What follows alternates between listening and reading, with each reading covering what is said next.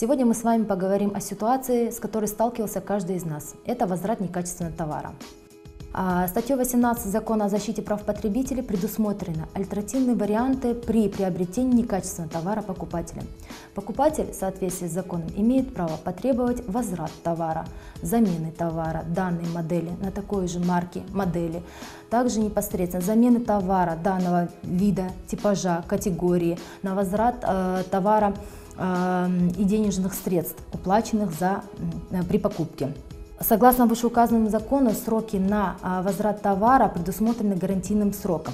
Если а, не предусмотрен гарантийный срок, то он установлен законодательством не более двух лет. Но это касается именно товара, соответствующего категории некачественного, предусмотренного заводским браком. Если товар считается техническим сложным, например, автомобили, ноутбуки, компьютерные блоки, то срок на возврат установлен законодательством в течение 14 дней со дня приобретения. Однако в практике мы часто сталкиваемся с такой ситуацией, когда а, продавец всячески уклоняется от исполнения своих обязательств и направляет товар на экспертизу. В этом случае мы рекомендуем вам воспользоваться следующим алгоритмом. Шаг первый. Необходимо обратиться к продавцу товара с, э, письменным заявлением, претензии.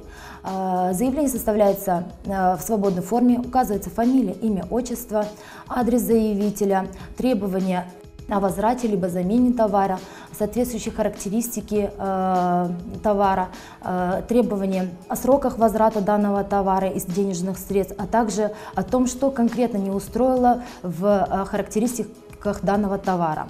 Э, вторым этапом, вторым шагом является предоставление, э, подача данной претензии и получение письменной отметки от продавца то есть это может быть печать предприятия, либо непосредственно подпись с расшифровкой продавца, но в любом случае на втором экземпляре документа необходимо получить соответствующую надпись о том, что данная претензия получена для ознакомления продавцом. После данного этапа необходимо будет э, учесть тот момент, что продавец э, все-таки направит данный товар на э, экспертизу, сервисно-обслуживающий центр. Необходимо ознакомиться с заключением данной экспертизы. Если экспертизы будет установлено, что поломка товара, либо его, несоответствие его заявленным характеристикам зависит, э, э, возникла не по зависящим э, причинам от покупателя, то вы имеете право вернуть данный товар с требованием возврата денежных средств, либо обмена этого товара в течение 10 рабочих дней.